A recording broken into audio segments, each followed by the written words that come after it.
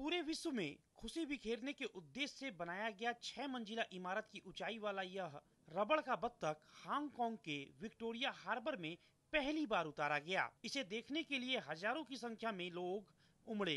इसके ज़रिए इस रबड़ के बत्तख को बनाने वाले डच कलाकार फ्लोरेंटाइन हॉफमैन दुनिया में भाईचारा का संदेश देना चाहते हैं। साथ ही अनजान लोगों के चेहरे पर हँसी लाने के अलावा एक दूसरे से संपर्क बनाने को प्रेरित करते हैं। इस विशाल काय रबड़ के बत्तख को देखकर जहाँ बच्चे एक तरफ़ प्रसन्न हो रहे हैं वहीं बड़े लोग भी ऐसा नज़ारा पहली बार देख रहे थे। Oh, she is very happy. Because it is very huge and, and we never see a huge duck in a, a harbor. दुनिया के 12 शहरों की यात्रा करने के बाद यह रबड़ का बत्तख पहली बार चीन आया है।